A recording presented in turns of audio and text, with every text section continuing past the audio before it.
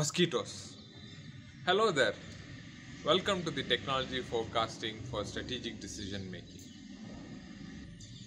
This course we will go over what it is that makes technology forecasting.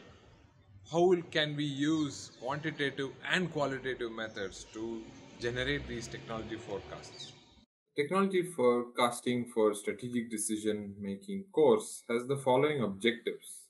You will be able to recall and recognize modern methods of technology. You'll be able to recall learned models for defining the system scope, which is the system to forecast.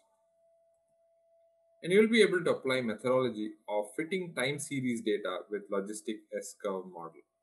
S-curve model is a mathematical model to fit the data that you get from a time series technology forecasting.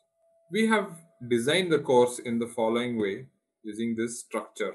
We'll start with a basic introduction to technology forecasting, learner case studies, as well as some case studies that we have done.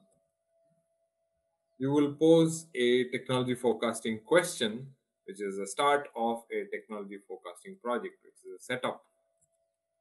Then you will answer those questions that are required to complete the technology forecasting activity.